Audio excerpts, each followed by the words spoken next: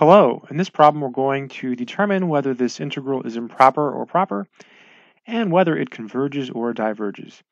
So right away we can tell it's improper because we have an infinity symbol in one of the limits of integration. So whenever that happens, um, you know right away that it's improper. Now we have to integrate it and determine if it converges or diverges. If we get an answer like 2 or 3 or 4, a number, then we know it converges. If we don't get a number, so if we get something like infinity or negative infinity or dne, then we know that it will diverge. So because this integral is going to take a little bit more work to do, um, let's focus on the indefinite integral, and then at the very end of the problem, we'll do uh, the one with the uh, limits of integration. So to do this problem, we're going to use something called tabular integration. So tabular.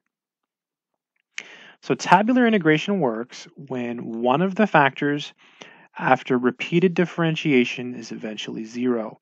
In this case, that factor is x squared. So you write down the x squared, and then you just start differentiating. So 2x is the derivative, and then 2, and then 0. So again, one of the factors has to be eventually zero. Then you write down the other piece and you integrate it.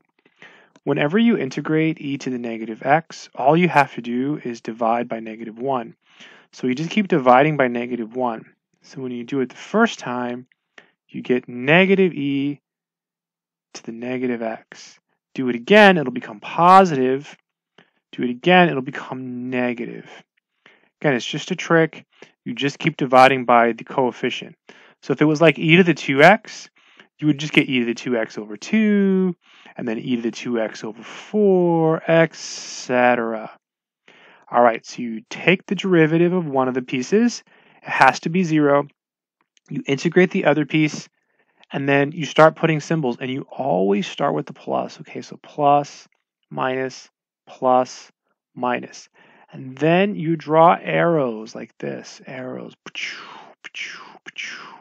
Then you follow the arrows and you multiply and that's the answer. So the indefinite integral of x squared e to the negative x with respect to x is equal to, and again, all we're doing now is following the arrows. This will be equal to, let's see, follow the first arrow. So negative x squared e to the negative x Follow the second arrow, negative 2x e to the negative x. That's the second arrow there. Follow the third arrow, negative, another negative, ridiculous, and then plus c. All right, good stuff. Fun times. Okay, so now let's finish this problem. So this, this one here is going to be, write it here, 0 to infinity, x squared e to the negative x dx. To do this, what you do is you replace the um, infinity with a variable. So I like to use a, a b. I always like to use b. It's just, I like little b. So we take the limit, and then we let b approach what we replaced. So we got rid of the infinity, so it approaches infinity. Then we have x squared e to the negative x dx. So this is equal to, let me scroll down a little bit. Actually, let me go to the next line. I'm concerned about room here. Limit b to infinity. And we've already worked this out, this integral. We've worked out the indefinite one. It's up here. So I'm going to write it down again. Except I'm not going to write down the c because that's going to cancel, right? When you subtract, it's going to go away. So we have negative x squared e to the negative x minus 2x e to the negative x minus 2 e to the negative x. And we're going from 0 to b.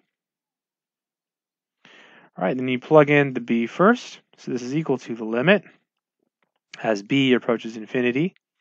Plugging in the b for all the x's, that'll give us negative b squared e to the negative b minus 2b e to the negative b minus 2 e to the negative b. So you put b's where all the x's are. Then you subtract, and then you put zeros where all the x's are. Now, because we have three terms here, um, I'm going to put parentheses. So parentheses. So the first one's going to be 0 minus, oh, look at that, 0 minus 2e to the 0, and then bracket. Again, we plugged in um, all the b's, subtracted, plugged in all the zeros. Let's go ahead and rewrite this in a more familiar way. This is the limit as b approaches infinity. So now what you can do is you can bring all of these e's downstairs.